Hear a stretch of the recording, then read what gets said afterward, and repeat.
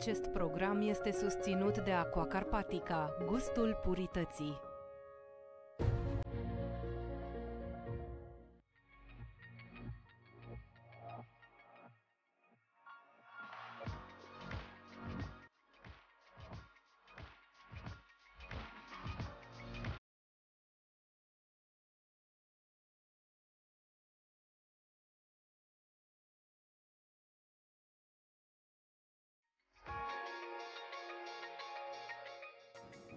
Bună dimineața tuturor și bine ați revenit la matinal după o săptămână, după un weekend interesant, zic eu, dar aș vrea să știu ce a făcut Valentin weekendul acesta, așa că bună dimineața! Bună dimineața, mă crezi că stau să-mi amintesc, nici nu mai știu ce am făcut în weekend. Cred că am Cum stat... adică nu știi ce ai făcut? Am fost aseară la film, am fost la Oppenheimer aseară. Așa. Și a fost genial. și Au la fost... Barbie ai fost? Că La în Barbie general n-am se fost, merge nu. în tandem, ba la Nu. Barbie, ba la... Au fost trei ore absolut fantastice. Deci Ok. trei ore merită, merită fiecare minut din acest film. Dar trebuie să iei multă mâncare și mult suc.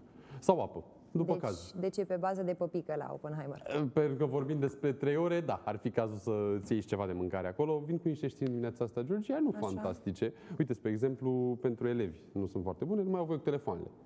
Dacă ai auzit, la școală. Tu îți dai seama? Ia E, zi, da. tu la ce vârstă ai avut telefon prima dată? Sincer. Prima acum. dată când, 14 ani, am avut la 14 ani. Când m-am apucat de basket, cred, și aveam vreo 9 ani. Pe la 9 ani, păi da, mergeam la antrenamente. Bine, da, e diferență între noi de câțiva ani, are, are logică. Acum- Da, bine. Da, aveam, ne- dar chiar am folosit uh, și aveam nevoie de el. Pentru că, uite, m-am accentat toată la genunchi și a trebuit să-i sun pe ei mei. Aoleu. De ce făceam? Eram la două blocuri, da? Nu știai numărul pe de rost, nu? Nu. Și încă o știre, uh, carburantul... uh, Nu, a, nu vreau să aud. nu vreau să nu aud, mai nu vrei să... strica, Nu, eu tot o să nu zic. strica săptămâna. Tot o să zic. Când ai băgat ultima oară benzină? Eu am băgat Săptămâna asta trecută. dimineață. Dar nu mi s-a părut Săptămâna că- trecută. Nu mi s-a părut că mai scump tot de 50 de lei am băgat, tot 50 de lei merge lui doamna acolo, adică nu am simțit nicio diferență. Hai la știri, hai la știri că e rău.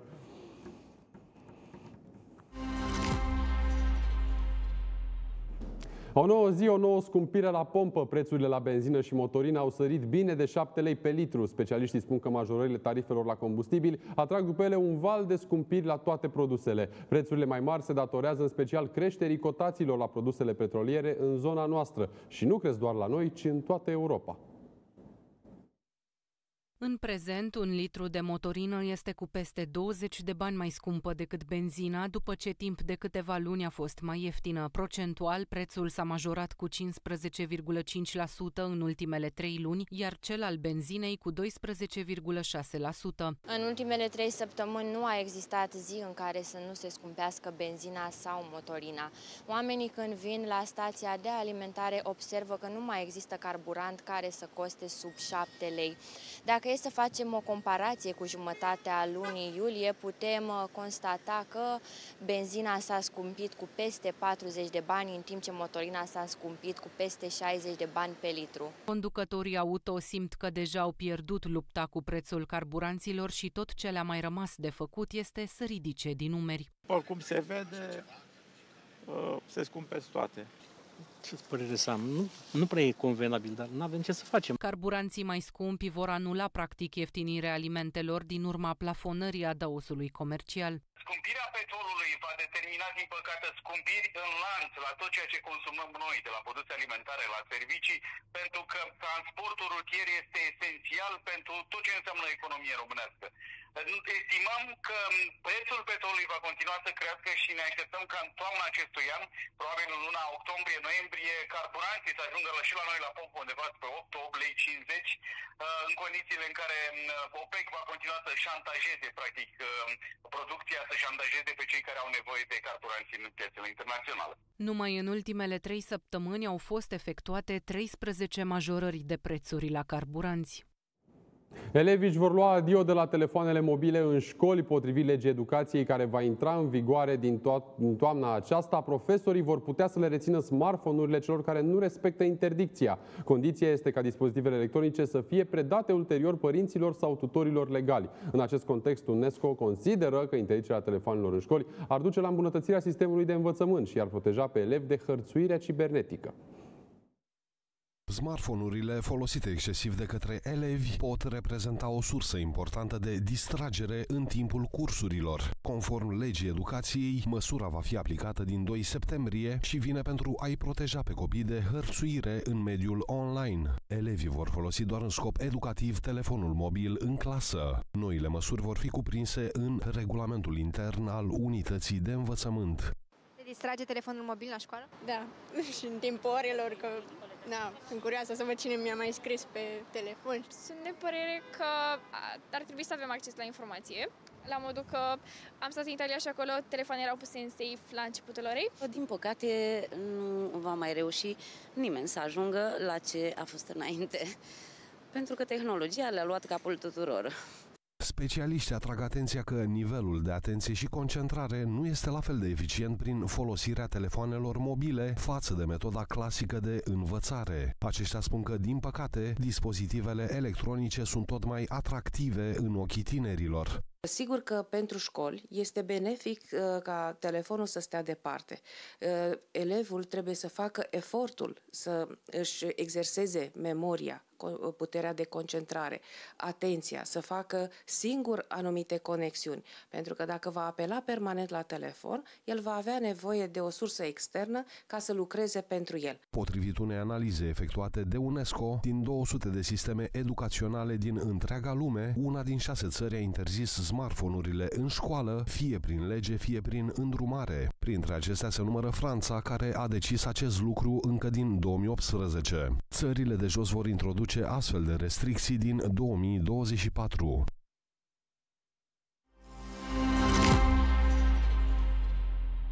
Astăzi n-am reușit sub nicio formă să mă asortez cu ceea ce se întâmplă în spatele Rominei și nu înțeleg nici cei cu veștile acestea pentru că vara e aproape de final, așa că haideți să aflăm împreună mai multe. Bună dimineața!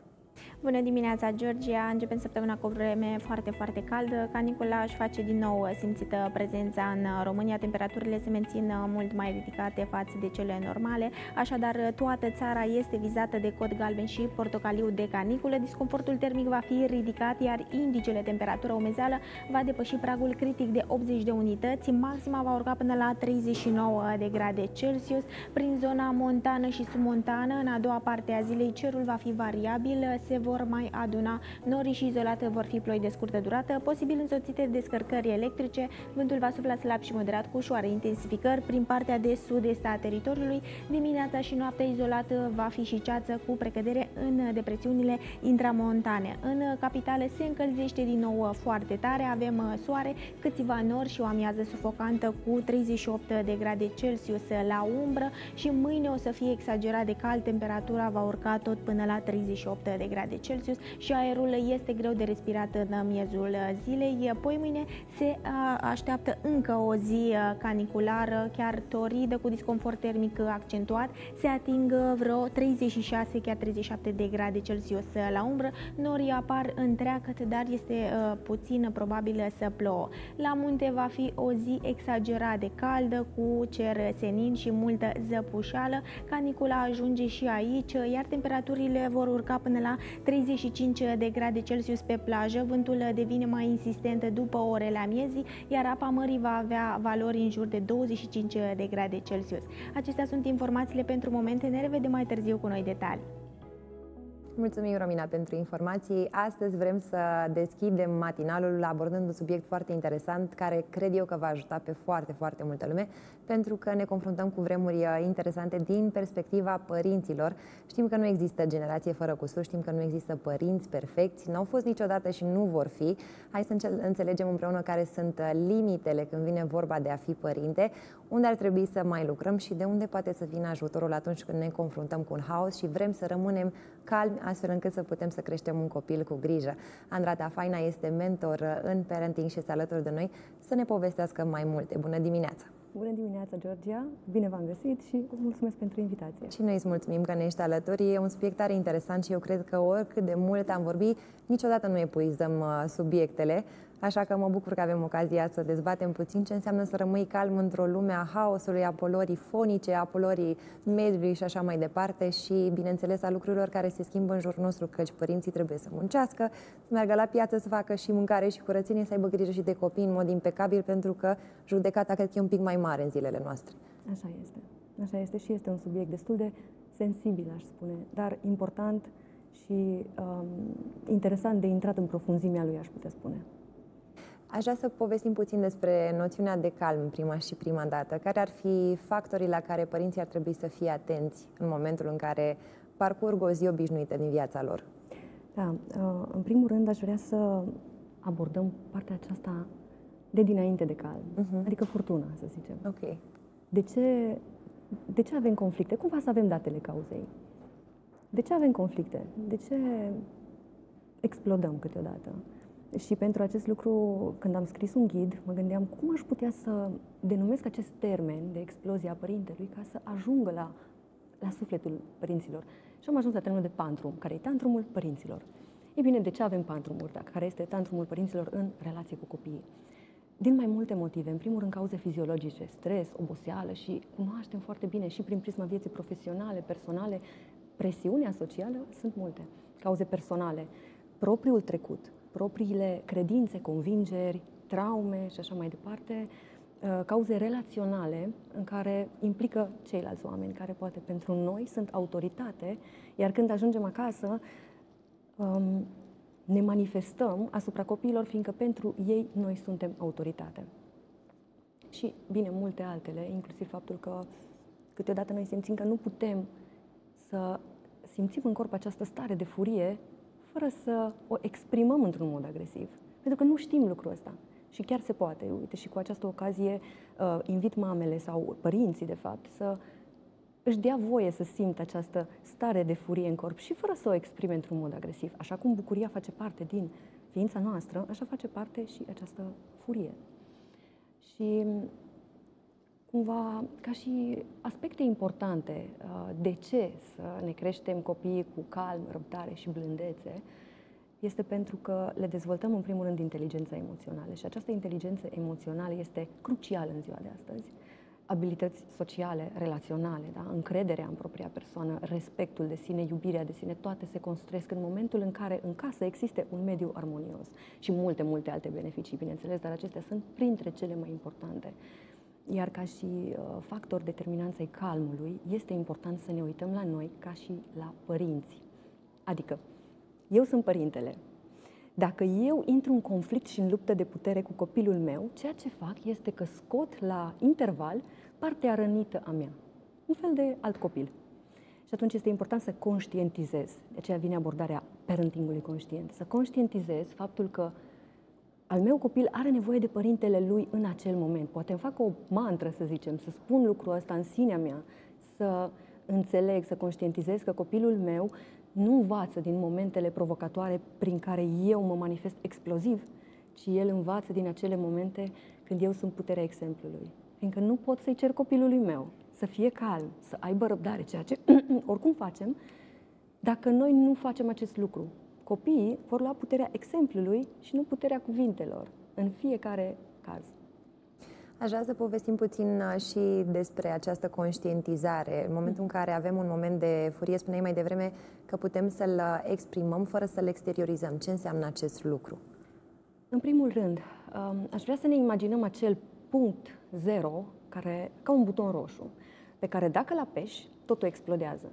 Dacă nu-l apeși și te retragi, vine vin specialitățile și dezamorsează bomba, să zicem. Așa este și momentul acela, dacă învățăm să ne autocunoaștem, există un punct sensibil. Dacă trec peste el, încep să zbier la copil sau poate să ridic tonul, palma și așa mai departe. Este important să știu când să mă retrag, să mă opresc. Cum facem asta? În primul și în primul rând, cea mai cunoscută și eficientă tehnică este respirația. Pentru că uităm să respirăm și în momentul ăla ce se întâmplă? Respirația se blochează și sistemul nervos se amplifică. În momentul în care noi respirăm, relaxăm și liniștim sistemul nervos. Asta se întâmplă în corp prin respirația conștientă. Apoi, este foarte important să-mi dau seama, de fapt, de unde vine această furie, acest pantrum al meu. Pentru că în peste 90% din cazuri, furia nu vine, sau nu copilul m-a enervat, în primul rând eu m-am enervat și, în al doilea rând, um, în marea majoritate a cazurilor, noi adunăm furie, frustrare, dezamăgiri, de peste zi, poate, sau de peste anumite perioade, de la persoane care, sau evenimente, situații, care sunt autoritate sau au un grad mare de autoritate pentru noi. Și ce facem? Ajungem acasă și ne exercităm toate aceste emoții, trăiri, asupra copilului sau poate asupra partenerului pentru care noi suntem autoritate. Pentru că știm că nu vor riposta sau știu că avem putere și atunci intrăm în jocul ăsta de putere. După aceea, ce este foarte important, după ce conștientizez faptul că, de fapt, nu copilul a fost triggerul, copilul a fost așa o ultima picătură, poate, sau cireașa de pe tort, un canal, este foarte important să îmi asum lucrul acesta că sunt părintele copilului. Și aici vreau ca părinții să intre în responsabilitate, nu în vinovăție, pentru că vinovăția ne face să proiectăm această vină pe, pe copil și cumva să spun după aceea, da, normal, am avut dreptate că am făcut asta cu copilul meu, pentru că uh, m-a enervat, uite ce a făcut și amplificăm starea. Deci nu ne ajută nici sentimentul de vină, nici cel de rușine, nici victimizarea. Este important doar să ne asumăm că suntem părinții copiilor și că avem această responsabilitate față de ei. Andrada, în general, vorbim despre noi și nu prea ne asumăm atât de multă responsabilitate pe cât ar trebui. Și avem senzația că lumea nu ne înțelege, că șeful nu mă înțelege, partenerul nu mă înțelege. Avem vreodată senzația că nici copilul nu mă înțelege, că ar trebui să înțeleagă că sunt obosit după serviciu și să, să-mi ofere un răgaz? Foarte bună întrebare. Uite, partea aceasta, uite, care include inclusiv furia, vine din așteptări. Noi ne așteptăm ca persoanele din jurul nostru să ne înțeleagă. Ne așteptăm ca uh, copilul să se comporte într-un anumit fel. Ne așteptăm din așteptări. Și dezamăgirea, și furia, și frustrarea vin din așteptări. Și acum poate să mă întrebe Andrada, uite, da, nu e ok să avem așteptări? Ba da, într-o oarecare măsură e ok să avem așteptări, însă nu niște pretenții foarte mari. Există o vorbă, cine deține cunoașterea, deține responsabilitatea. Nu ne putem aștepta la responsabilitate din partea copiilor noștri sau din partea celorlalți, pentru că noi avem cunoașterea, inclusiv cunoașterea asupra propriei persoane. Responsabilitatea mea este față de mine și, bineînțeles, față de copilul meu, dar fiecare deține responsabilitatea propriului comportament. Și aici intervin granițele sănătoase, pentru că mă întrebai de înțelegerea din partea celorlalți. Uh, întrebarea mea este, de ce să ne așteptăm la înțelegere de, din partea celorlalți. De ce să nu ne înțelegem noi pe noi înainte de toate? Fiindcă nu pot să cer celuilalt ceea ce eu nu sunt dispusă să-mi ofer, adică înțelegere și timp și relaxare. Eu pun foarte mult accent în cursuri și în ateliere uh, pe această parte de uh, bunăstare interioară, pentru că nu putem da, și fac, fac o analogie așa drăguță, dacă tu ai o grădină plină cu bujori și cineva vine să-și ceară trandafiri, nu poți să-i dai pentru că nu ai acolo. Ce faci? Îi cultivi, îi crești, îi semeni, îi crești, îi cultivi și atunci poți să dai. Așa facem și cu calmul și răbdarea. În primul rând ne oferim și nouă calm și răbdare, ne îngrijim de propria persoană și aici pot să vorbesc din rezultate clare și concrete, acest lucru se va reflecta și în exteriorul nostru, mai ales în familie, pentru că mama este stâlpul emoțional al casei. Cum învățăm să comunicăm eficient? În sensul în care poate ne ferim și spunem e prea mic să înțeleagă prin ce trec eu. Am văzut și relații foarte frumoase între părinți și copii, cu părinți care aleg să îi comunice copilului o parte din stările emoționale. Cred că e util și pentru copil să învețe o parte din ABC-ul emoțional. Da, sunt de acord cu asta. Există o procedură pe care eu o folosesc, uh, comunicarea eficientă și antrenarea emoțiilor. În primul rând, uh, este o tehnică mult mai complexă, dar aș vrea să o redau pe scurt ca să rămână fiecare părinte cu puțină valoare din această parte. Nu există comunicare eficientă fără un raport de calitate creat cu copilul. În programarea neurolingvistică există acest termen de raport de calitate, care presupune o legătură care se formează între două sau mai multe persoane prin influență reciprocă și respect. Și aici este foarte important să nu trecem acea graniță înspre manipulare. Mă repet, eu nu sunt de acord cu manipularea și um, pe scurt se creează așa, același nivel fizic, contact vizual, un copil dacă nu are contactul vizual al tău sau tu al lui, nu te ascultă atingerea, dacă ne este permisă, și empatia. Practic, să simt de la nivelul pieptului că am acea conexiune cu copilul meu, autentică și sinceră. Și dacă se întreabă părinții cum se întâmplă acest lucru, pur și simplu veți simți. Așa. Apoi trecem la comunicarea eficientă. O comunicare eficientă începe mereu cu o bună ascultare. Îl ascultăm pe copil. Ascultăm ce are de spus fără să-l întrerupem, pentru că copiii nu-și reau șirul gândurilor atât de ușor cum o facem noi. Și este foarte important să vedem aici ascultarea cu empatie, fără judecată în timp ce povestește, judecata din mintea noastră. După aceea trecem la actul propriu-zis al comunicării. După ce l-am ascultat, putem recapitula, depinde de situație, de vârsta copilului, putem să recapitulăm să vedem dacă într-adevăr ceea ce tu ai spus a ajuns la mine în forma corectă, îți spun poate care este părerea mea, dacă este cazul, și începem gestionarea emoțiilor.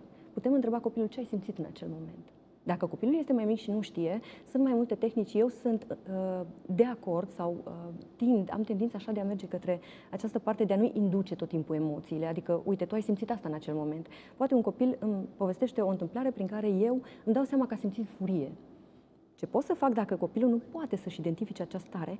Uite, eu am fost la magazin într-o zi și stăteam la rând să cumpăr pâinea și o doamnă a intrat în fața mea. Păi, uite, eu am simțit în momentul acela furie, pentru că nu mi s-a părut corect da, să intre în fața Și pot să-i dau exemplu ce am făcut mai departe. Adică, uite, eu în acel moment am mers frumos și am spus, uite, poate nu m-ați văzut, dar stăteam la rând și am fost lăsată în față și cumva este și abordarea situației, da? Ei bine, după ce uh, povestim acest lucru, putem întreba copilul, oare este același lucru ce ai simțit și tu? Dacă spune că nu știe, este în regulă cu timpul și asta, asta pot să spun din cazurile cu care am lucrat, cu timpul oricum va învăța. Nu este o grabă, nu trebuie să învețe copilul într-o lună uh, să-și denumească emoțiile.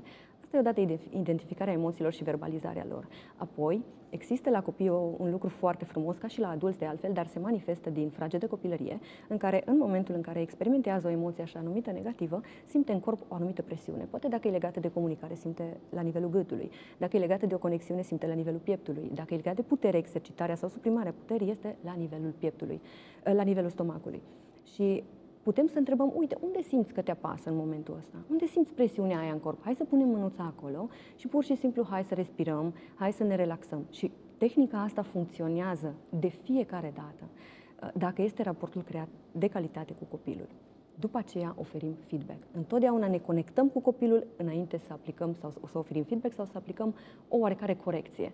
Feedback-ul se uh, oferă pe pozitiv. Poate folosim tehnica sandwich-ului dacă copilul este mai mare, adică un aspect pozitiv, un aspect negativ care este de corectat, să zicem, și alt aspect pozitiv. Uite, apreciez la tine faptul că, da? Uh, cumva, te iubesc. Sau putem să-i spunem, uite, eu sunt de acord cu orice simți, pentru că este trăirea ta, uh-huh. nu este trăirea mea nu pot să spun că nu sunt de acord cu ceea ce simți sau cu ceea ce ești. Și foarte important în momentul feedback-ului să nu identificăm copilul cu comportamentul. Ai fost un copil rău, facem asta de foarte multe ori. De, de ce? Pentru că în momentul acela copilul o ia personal și se identifică cu acea răutate. Și mai departe în viață, ori o să fie rău, ori o să, fie, o să vrea să fie bun. Și această bine-rău există în fiecare. Și atunci este foarte important să spunem, ok, poate ceea ce ai făcut l-a rănit pe copilul X sau poate ceea ce ai făcut, uite, m-a rănit pe mine Hai să vedem cum putem să exprimăm furia pe viitor fără să-ți faci rău singur ție sau celorlalți. Și mereu încheiem într-o notă pozitivă. Dacă am greșit, dacă, mm-hmm. de exemplu, am comis-o și am spus copilului că ai făcut ceva rău, ești un copil rău, am spus exact cuvintele astea, și au rămas acolo ca o sămânță care s-ar putea să încolțească în ceva bun sau ceva rău, cum spuneai mai devreme. Uh-huh. Cum facem să nu ne lăsăm marcați de această greșeală, poate chiar să reușim să o și corectăm, fără să intrăm într-un cer vicios în care începem să facem și mai multe greșeli, pentru că oricum suntem niște părinți răi noi și am greșit și nu suntem suficient de buni. Păi, în primul rând, ne cerem scuze. Efectiv, este magic uh, acest act a ne cere scuze față de copii, pentru că ei au o capacitate fantastică de a ne ierta. Și aici nu mă refer să se poziționeze superior sau noi să ne poziționăm superior prin această uh, iertare sau prin a ne cere scuze. Putem pur și simplu să spunem, uite, nu aveam voie să vorbesc așa cu tine, nu trebuia să-ți spun că ești un copil rău. Nu te consider de fapt un copil rău. Poate am vorbit la nervi sau poate uh, în momentul acela pur și simplu am reacționat în singurul mod în care știam hai să vedem cum pot și eu și tu să rezolvăm situația asta pe viitor, bine, în funcție de vârsta copilului, bineînțeles, astfel încât să nu mai ajungem la situațiile astea și îți promit, și aici este foarte important, îți promit că voi face, voi face tot ce pot pentru ca pe viitor aceste lucruri să nu mai fie spuse către tine și nici de către mine și poate nici de către tata sau depinde despre cine este vorba sau de către mama. Și în momentul acela, în momentul în care am promis, este important să ne asumăm și să facem tot ce putem. Pentru că îi dezamăgim. Dacă le promitem un lucru și data viitoare ei ne aud spunând ești un copil rău, de fapt, chiar ești un copil rău, în momentul acela ei vor simți o dezamăgire foarte mare și nu se vor simți văzuți, auziți, percepuți, nu se vor simți importanți. Își vor pierde poate și încrederea în părinte totodată? totodată? Absolut, absolut. Pentru că ei, uh, de fapt, ei ne oferă pro bono această încredere și uh, ne oferă și după ce le mai trădăm câteodată și ne oferă din nou și din nou. Însă e important să nu uh, abuzăm de această încredere care se construiește natural prin simplul fapt că noi suntem universul copilului până la o vârstă, pentru faptul că le vom crea răni pe viitor. Și, de fapt, noi ne dorim viitori adulți echilibrați. Cum pot părinții să gestioneze furia din cuplu dacă sunt probleme nerezolvate la capitolul comunicare, astfel încât copilul să crească cu un model sănătos? În primul rând, este important de ce anume este legată această furie. Este mhm. legată de parentingul în sine uh, sau este legată de situațiile din cuplu. Și o să uh, le expun treptat, dar vreau să înțelegem ce se întâmplă în momentul conflictului. În momentul conflictului, uh, și asta e ca o idee generală, indiferent de sursa situațiilor conflictuale, în momentul în care eu intru în conflict cu partenerul, eu exercit puterea și autoritatea. Intru într-o luptă de putere. Adică vreau să-ți dovedesc că eu am dreptate, prin care implicit sugerez că tu te înșeli. Asta este actul de a avea dreptate. Ce se întâmplă în acel moment? Celălalt se simte atacat. Și indiferent că tu ai dreptate sau nu ai dreptate, celălalt va vrea doar să își consolideze poziția și să se apere, poate chiar să atace înapoi. Și dacă ne gândim puțin la exemplele conflictelor, poate puțin mai uh, ample din viața noastră, așa se întâmplă. Este o luptă de putere în momentul conflictului și rănile interioare din mine ies la evială cu rănile interioare din fața partenerului, dacă este vorba de partenerul de cuplu în acest caz. În primul rând, uh, nu sunt de acord ca aceste conflicte să se poarte de față cu copiii. Dar nu este sănătos, pentru că el în acel moment îi se uh, sparge universul, îi se destramă universul ca părinți. Părinții sunt universul. Apoi, ca și o soluție, să zicem, la această luptă de putere, aș invita părinții sau cuplurile, dacă este cazul, să abordeze situația dintr-o altă perspectivă. Să spună, de exemplu, uite, lucrurile stau așa din perspectiva mea. Pur și simplu să folosesc acest cuvânt magic din punctul meu de vedere. Sau, uite, poate n-ai avut intenția, dar ceea ce ai făcut m-a făcut să simt asta sau m-a făcut să mă simt într-un fel anume. Putem discuta pe tema asta și de multe ori, și de multe ori, în majoritatea cazurilor, de fapt, se elimină acest conflict.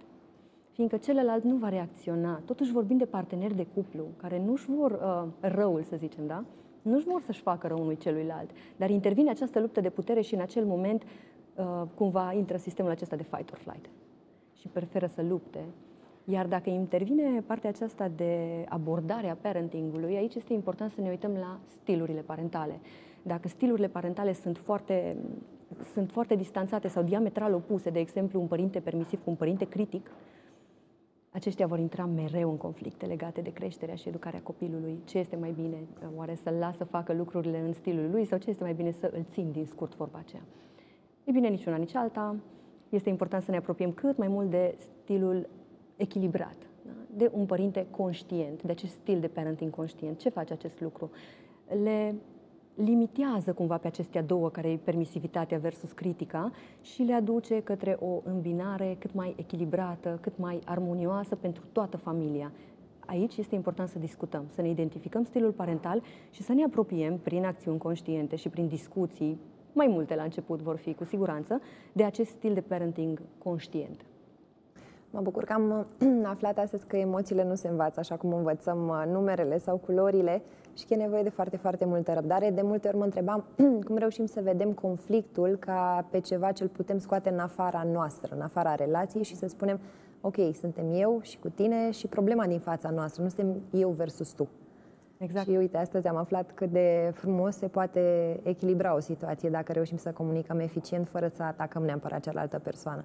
Așa e. Aș vrea să știu din perspectiva copilului, spuneai mai devreme că nu ești de acord ca părinții să se certe de față cu copilul. Există și părerea contrară care spune îl las să vadă acest conflict pentru că nu pot să-l feresc toată viața.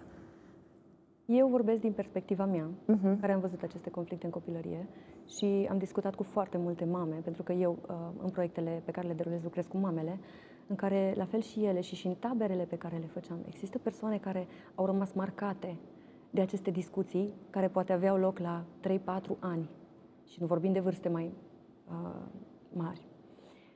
Nu recomand pentru că nu știm unde se ajunge în timpul acestui conflict. Da, discuții în contradictoriu dacă părintele alege așa, este perfect în regulă, este alegerea părintelui. Însă conflicte de-a dreptul, fără să știi încotro se ajunge cu acel conflict, fără să știi ce spui, pentru că părinții au impresia că copilul nu ascultă. Copilul ascultă absolut tot. Și dacă face altceva, copilul ascultă, pentru că în momentul în care simte acest pericol, copilul va fi ochi și urechi, chiar dacă face altceva, la părinți. Și asta, legat de subiectul acesta, am primit foarte multe exemple. Și după aceste conflicte, și o să mă explic și de ce am această părere, după aceste conflicte copiii somatizează. Somatizează. Inclusiv până la șapte ani ei somatizează și uh, trăirile părinților, lucrurile nespuse, emoțiile, stările și așa mai departe, pe lângă cele proprii.